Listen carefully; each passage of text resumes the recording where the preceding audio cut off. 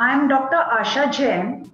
I am a consultant at SMSA Hospital, Raipur, and the president of Raipur Obstetrics and Gynecological Society.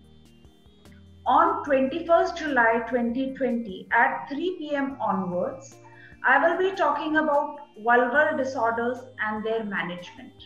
Vulval disorders are something that every woman has to go through in her life, one way or the other.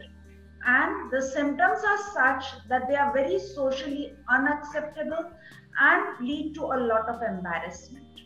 So, how we can diagnose them correctly and treat them for the best of our patients is what we are going to be discussing on vulvar disorders.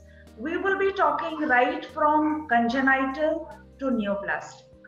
So, I hope you log in and enjoy that session. My thanks to FOGSI and President Dr. Alpesh Gandhi for such a good initiative, Zydus for supporting this initiative, and DocMode for providing the educational platform.